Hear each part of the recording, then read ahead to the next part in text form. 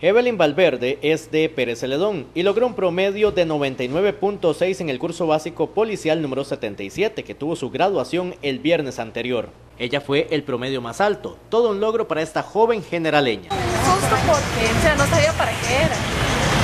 Después, ya cuando me dijeron, eh, sentí bonito porque fue un momento como especial. No me lo esperaba grupo tan, tan grande, no me lo esperaba que iba a salir con, con esa nota. Pero Evelyn no fue la única de la zona sur que destacó entre los mejores promedios de este curso policial. Desde San Vito de Cotobruz está Pablo César Ulloa, quien en la nota final consiguió un 99.2 de calificación. Fue un año muy intenso, de muchas vivencias, de muchos viajes, este, pues de mucho estudio. Pues yo sinceramente sí le puse mucha gana desde el puro principio. Yo quise sacar buenas notas, este, pues hacerlo bien y pues las cosas de veras que valen dan, dan, sus frutos. Sí, sí se pudo, sí lo logré.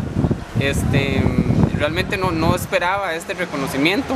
Fue ya al final que, que en la graduación que salió mi nombre ahí y sí, me, me, siento muy contento. Un logro que los motiva para seguir adelante en esta tarea policial. Es, se siente muy bonito el hecho de estar en medio de toda la gente, el que la gente se sienta seguro de que uno está ahí, el darles uno seguridad de lo que uno está haciendo, verlos que uno es profesional, que uno sabe lo que está haciendo, este, eh, poder pues, luchar.